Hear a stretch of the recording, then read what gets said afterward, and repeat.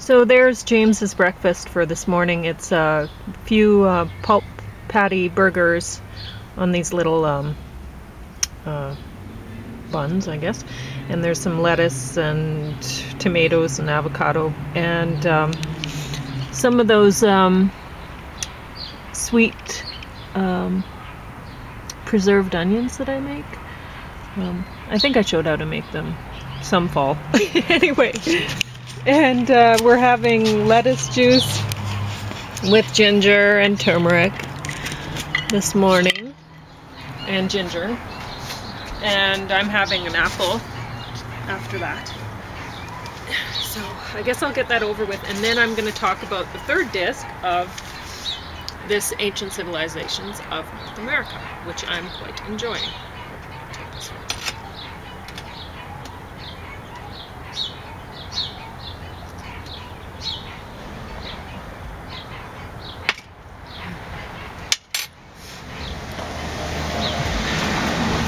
And I find that if um, if it's a cold day, it's good to heat up uh, a bean bag or um, a hot water bottle and take it with you. Just put it under your shirt or whatever.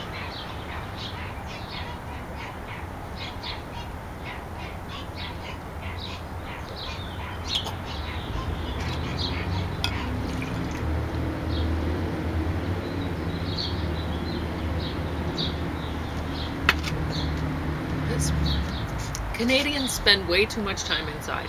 It's better to be outside. Get some fresh air, or as fresh as we can get it.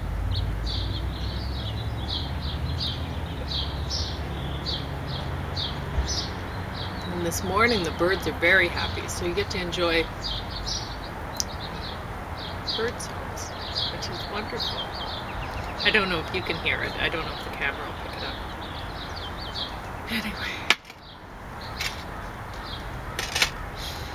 Um, so yeah, I pickle, or well, it's not really pickling, I suppose. I preserve um, my onions. I make them uh, with a wine.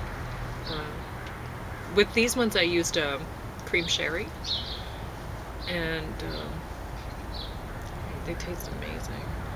And coconut oil, quite a lot of coconut oil. So I don't eat them myself, even though they're delicious and I I brought a bunch to my mom and and they're just like you just put a little bit. But she said she said to me oh those onions are wonderful. Just if you mix them just with rice. And I thought how much are you eating because that's a lot of coconut oil. But I'm glad she enjoyed them. Hmm. anyway so uh, the third DVD of the series I didn't enjoy quite as much. And so honestly, my notes are not going to be um, as easy to make out because I didn't, I just wrote while he was talking and I wasn't pausing and stuff. So, so if you're interested at all, watch the DVD or whatever and and look into the stuff for yourself because you're not going to get a whole lot from me. It might be choppy kind of data and not, I might not have written it down correctly or whatever, right? Because I, I wasn't as interested. So, um, but one thing you learn very important at the beginning of, uh, or near the beginning of this third DVD is you learn why you should not call anyone Anasazi. So that is why we do not use that anymore. Um, by 750 BC, they lived more like how we recognize Pueblo people with uh, Kivas. Pueblo II period, people lived at peak of their civilization. They had many homes, Kivas roads, but droughts forced migrations. Mongolon, Mongolon, from pit to above houses 900 CE. Before then, they had ramps. Um, Mimbres pottery, pottery with kill holes on top. Hohokam was the first divergent culture. They extended irrigation canals off rivers. They had an above-ground structure with floor dug down. Hohokam had a lot of trade with neighbors. By 1300s, Hohokam cities abandoned due to drought. Pueblo moved into their land. Uh, lecture 15. He uses virtually so often that I find it tough to trust what he's saying. But you know what? That's fine because whatever I learn from other people, I'm going to look up before I trust it anyway and try to figure it out for myself. Flexible twigs and fibers used uh, coiled together to make baskets. Oh, I was going to bring out, I have one of those baskets of this type, but I didn't bring it out. Sorry. Um, but they're the ones that spiral around. Uh, I think they look nice. Um, women were on average five foot tall, men five foot three inches tall, so they're not really huge. Um, men a little bit shorter than me. Women wore butterfly hairdos like Princess Leia. Um, pit houses with ladder in roof to get in. Farmland and a central kiva. Basket Maker 3, Pleasantville, stockades around domestic uh, dog turkey theory um, versus defensive theory. After 750 CE, Basket Maker evolved into Ancestral Pueblo. Lecture 16, Mogollon pottery, black on white bowls with detailed varied art. Bowl on head of almost every Mogollon body they found. Bowl had hole in it. Mogollon 5 to uh, was around 1000 CE. Mogollon had pottery from 200 BC, before their neighbors. They had better pit houses too. Their pit houses became rectangular rather than round, a hundred pit houses around multiple kivas in large villages. A thousand CE above ground Pueblo blocks used, Mogollon kivas remained rectangular. Mattocks rooms built accretionally. The outer rooms built on it built on in ways that changed the new inner rooms. Classic Mimbres people across the region buried their dead inside the floors of the rooms, often in what were once storage pits. At Mattocks burials were hmm, at Mattocks, burials were in the inner rooms, but not in the newest exterior rooms. They didn't paint geometric designs. Well, they did a little bit, uh, but it, um, not exclusively, and it was it was just a part of the art. So um, they actually made art. Their pottery looked lovely. Um, they painted animals and people in scenes doing things, and they had expressions on their faces that looked really great. I, I I loved it. Most bowls were used for cooking and eating before they became hats for dead people. So who knows? That bowl might have been that person's um, bowl that they used for eating, and then shoot, when they died. Who knows? Uh, butterfly fish is a common image. So is scarlet macaw. These show range of people or knowledge of species gained through travel and trade.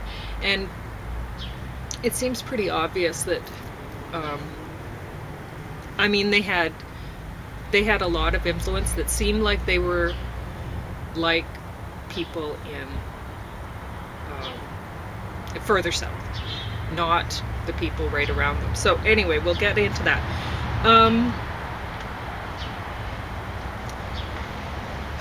Mimbres burned Kivas and left in 1350 CE. They moved east to the Rio Grande area Open central plazas became popular instead of enclosed, kivas. Lecture 17. The Hohokam Masters of the Desert. They started as part-time farming of flood areas, then they dug irrigation canals. They were also desert Hohokams who used there were uh, desert Hohokams who used rainwater catchment and wells instead. They farmed on ash from a nearby erupted volcano villages shared communal ovens. They didn't build kivas. They did have didn't have any communal areas until later pioneer period. Then they built platform something and ball courts. Um, I couldn't make out what the platform things were. Looking at them, I don't I don't know honestly. Um, Casa Grande has astronomical alignments. Casa Grande Waterhouse. James thinks they're a colony from Chile or something. I think all of their trade occurred by traveling by boat along the coast. Like he had a map and he was showing their um, route that they probably took on land, and it's like why? It's way easier to float if you're going to haul things and and trade. I mean, you look at historically anybody who was big into trade, they used boats, right? It just makes sense. So why would you why would you go across land when you could go just go to the water and then phew, boats makes more sense. Anyway, um, I doubt that all the residents live there full time. Honestly, James is like, oh, they might. I'm like, no, I doubt it. You know, you have sidewalk farmers here. Uh, sidewalk farmers, that's a term that people use for people who have farms, like big amounts of land that they farm, but they actually, they live in the city. So, um, anyway. Now, I mean, you would need more people there when canals are being dug and to harvest stuff like that. You but i don't know why you would maintain the villages full of people in these areas when you're not doing that. I, I mean it's tough living in the desert right? So if even if you're using it to uh, grow your food or whatever maybe should i don't know. Um because honestly if if you're a person if you're somebody who is trading and you have your boats that you're trading with, then um, why wouldn't you use the boats and fish off the coast or live, you know, a much easier existence than in the desert most of the time, right? Anyway, um, it seems strange to me that these um, people that, I mean, the Hohokam were obviously quite different from their neighbors and but they didn't seem to be fighting. There was one point where Pueblo took over someone else's territory eventually so I don't know if the people who had that territory left before and then the Pueblo took it over or if it was more aggressive kind of takeover. I don't know. But they seemed really peaceful compared to what we were seeing earlier. So uh, James says farmers seem to be more pacific than pastoral nomads, um, and that these guys didn't do well once the Navajo pastoral moved in, nomads moved in. Uh, Kachina Kiva used 1250C, women only allowed to enter to serve food. They were underground. Great kivas were huge and not covered. The smaller ones had roof at ground level and ladder to climb down into it. Um, and I think we're talking about the Pueblo now. Blue painted door. I don't know though. Um, to ward off evil spirits. Uh, sun temple on Mesa. Sunset craters, volcano ash. Elite people lived in cliff dwellings, possibly. Um, drought resistant corn planted on Mesa and proved they could get crops even today. So that, um, I can't remember, it was university or something did that. Just to check it out, see if it worked out. And they did get crops. Um, the people didn't change location, and then all of a sudden, by 1275, they were vacating, and by 1300, they were gone entirely. So that's that's the third disc for you. Anything to say about that third disc, James? You said you brought up what I Mm. just said. Mm.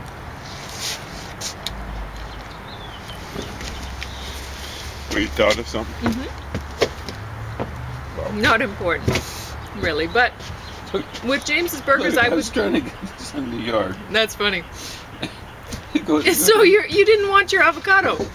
Oh, it just not fell after off. it hit the floor. okay. Well, anyway, I was gonna put these. We finally we've been going to the food bank for how long now, James? Over a year. yeah. And um, this is the first time we were given cheese. And so I was gonna put cheese on James's burgers, but I just brought them out. He can eat them just whenever he wants to. But because I stacked his burgers really high, and I'm like, well, he's not gonna be able to hold all of that stuff on the burger and then get it in his mouth with the cheese. So,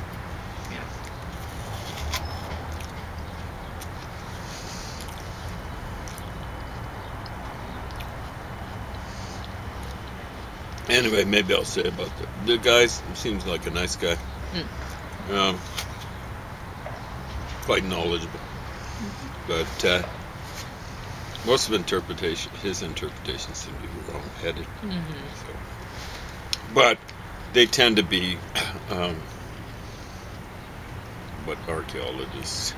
It's typical, but it's something like people Typical like James and I can learn a lot from people like him Sure. Because he knows a lot about, um, like with James. James has this, he has a map of, you could ask him, you could be in Canada anywhere, and you could ask him, who whose land was this originally? Who who was on this land? He'd know. He'd be able to tell you. He'd be able to rattle off some blah blah blah for a couple hours So you'd get him interested in something. This guy, he knows all that. He knows where, you know, the maps of where people were, what people were there, and where they went to, all that sort of thing. So he he has that knowledge, which is awesome. Um, and I mean, just to know about various cultures and be able to say, oh, this culture was different from this culture, and that you know these are not. We can't just call them all native, and you know, and say, okay, well, the natives were like this. Well, the, some were like this, some were like that. Some, so it's good to know, right? And he knows all that. So anyway, you can learn a lot from that. But things like his, um, he obviously doesn't know very much about things like irrigation or something like that, right? And so when he's talking about that, mm, he doesn't know. Uh, so he gets off topic. And there's some things like um, language. James knows language a lot. So when um, he was explaining at the beginning, when um, Edwin Barnhart was explaining at the beginning uh, why it's not really appropriate or we should consider possibly a different dating system because to use um, BC and AD might be offensive to some people. He was thinking the AD part was offensive, and can you explain that? No. He was saying AD means year of our Lord, Anno Domini.